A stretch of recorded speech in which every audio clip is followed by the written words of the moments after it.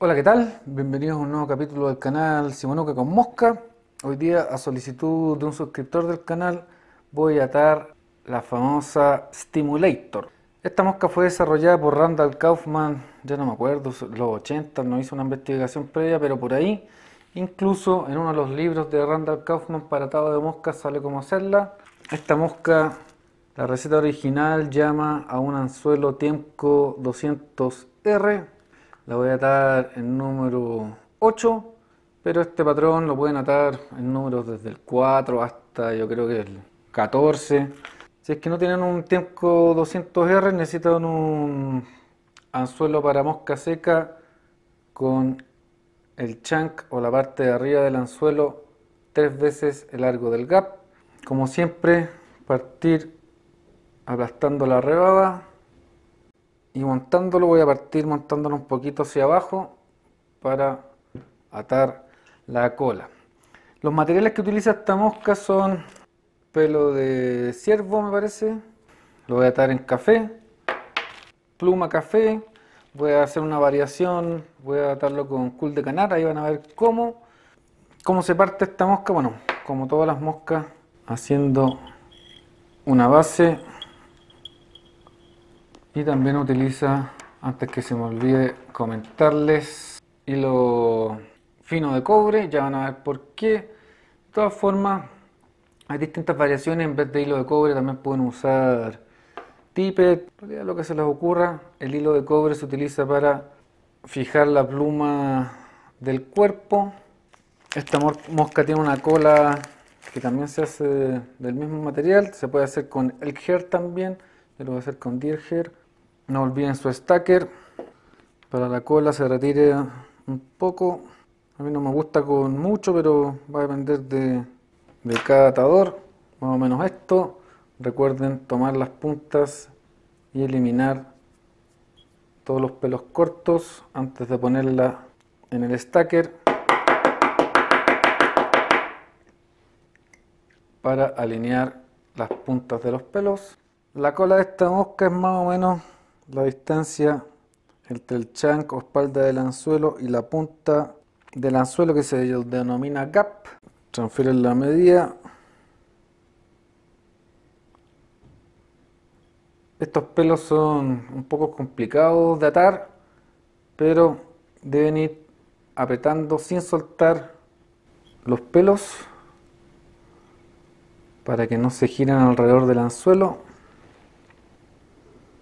Voy a fijar el resto de los pelos para hacer una buena base del cuerpo hasta más o menos dos tercios del anzuelo hacia adelante. Ahí más o menos, cortan el exceso y lo amarran más o menos parejo.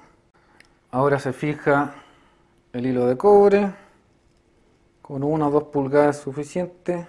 Y aquí usamos dubbing, pueden usar dubbing del color que gusten esta mosca es una tractora, no imita nada en particular, pero es buena para imitar, varias cosas que hay en el ambiente, por ejemplo, saltamontes, eh, adultos de stoneflies, etc. Como estoy haciéndola en café, voy a utilizar dubbing color café o Harris también pueden utilizar, voy a usar Harris oscuro hacer una aguja delgada. Siempre es mejor agregar que sacar. Parten atrás y van avanzando. Me faltó un poquito. Agregamos más. La ventaja de esta mosca es bastante versátil. Esta es la receta original porque pueden ir variando todos los materiales con la que la atan. Por ejemplo hay mucha gente que en vez de utilizar dubbing utiliza goma eva yo sin embargo la estoy haciendo ahora con dubbing como pueden ver. La goma Eva la ventaja es que le da mayor flotabilidad. La desventaja es que no hay muchos colores, pero pueden ir variando o experimentando. Cuando llegan los dos tercios del anzuelo, lo que voy a hacer ahora es enderezar un poquito el anzuelo, atar una pluma café o del color que escojan. Yo lo voy a probar para anzuelos número 8 con este medidor que tengo. Es más o menos porque la parte de atrás, ¿cómo es que se llama? se ata al revés, por eso el alambre de cobre, ya no a ver, esa técnica les va a servir para atar otras moscas. Sacan la parte más peluda de la mosca, perdón, la parte más peluda de la pluma.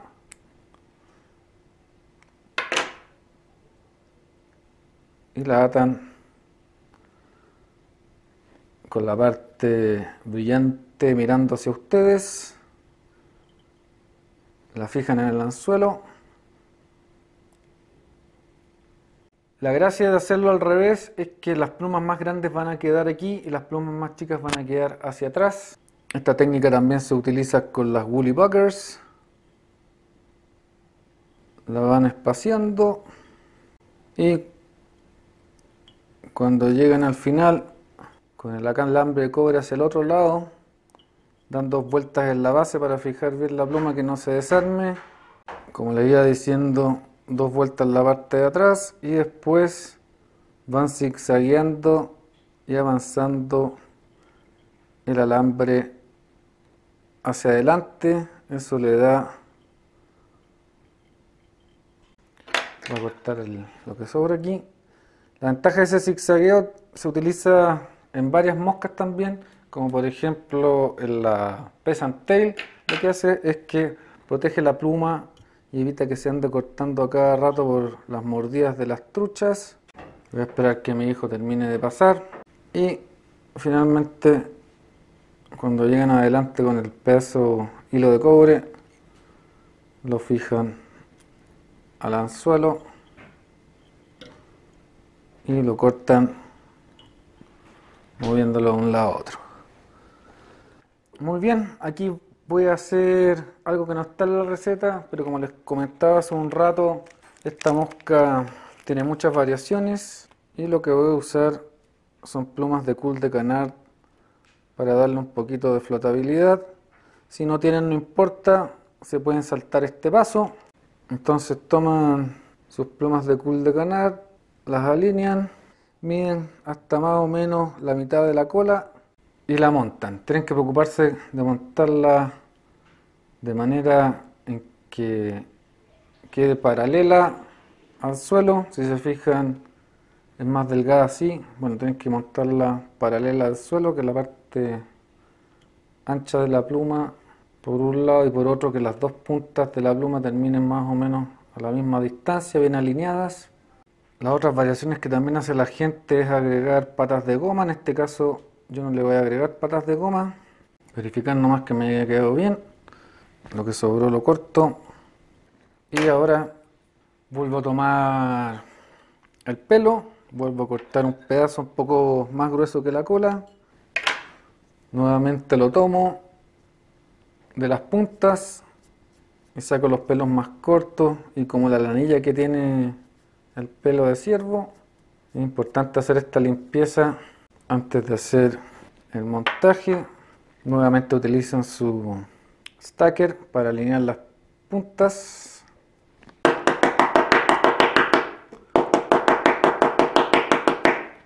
Sus buenos golpes. Con las puntas alineadas las toman. Vuelvan a ver si es que hay alguna algún pelo más corto que les haya quedado al momento de estaquear y miden procurando que la punta de sus pelos llegue más o menos un poquito más corto de la cola. Si prefieren hasta la cola también lo pueden hacer. Afirman con fuerza para que no se les vaya a florear o a girar alrededor del anzuelo. Dan dos vueltas suaves y después cuando llegan arriba empiezan a tirar para fijarlo. Vuelven a fijar sin soltar porque si no se les va a girar alrededor de todo el anzuelo. Ah, me resultó. Y aquí podemos cortar el exceso en un ángulo para tratar de formar la siguiente parte de la mosca que es la cabeza. Esos pelitos extra los pueden cortar con su tijera o dejarlos ahí porque igual van a quedar aplastado porque hay que poner dubbing otra vez.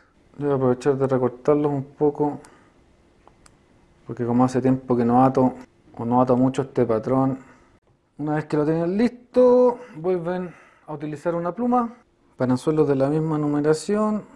Yo voy a usar una un poco más corta. También pueden usar la punta que les sobró de la otra. Voy a hacer eso mejor. Así ahorran materiales. Aunque una vez un atador me dijo que no era bueno ahorrar materiales, pero bueno. Cada como su tema, ¿no? Yo no ato moscas para vender, así que... Y como les dije una vez, a las truchas no parece importar. Muy bien, una vez terminado la fijación de esa pluma, se vuelve a colocar dubbing. Siempre procuren dejar un poquito de espacio detrás del ojo del anzuelo para poder terminar adecuadamente bien y hacer el nudo de término.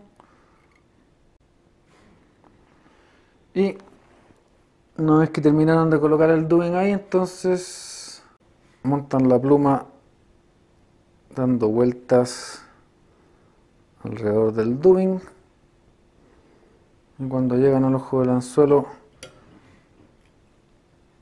la fijan con el hilo cuando está bien fijada. Cortan. Y en este caso vamos a hacer un whip finish. Con 5 vueltas es suficiente. Cortan el hilo. Y tienen la Randall Kaufman Stimulator vamos a colocarle un poquito de cemento para estar tranquilo con, con la mosca. Si escuchan a alguien sorbeteando es mi hijo, no soy yo. Le ponemos cemento. Muchas veces el cemento se pone en el ojo del anzuelo, por eso es bueno andar con nippers en el río que tengan una puntita para sacar eso.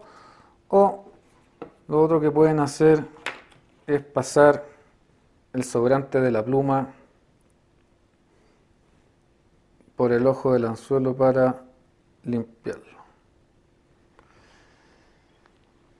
Ahí está la famosa Randall Kaufman Stimulator como les digo, pueden utilizarla en muchos colores, con muchos materiales distintos.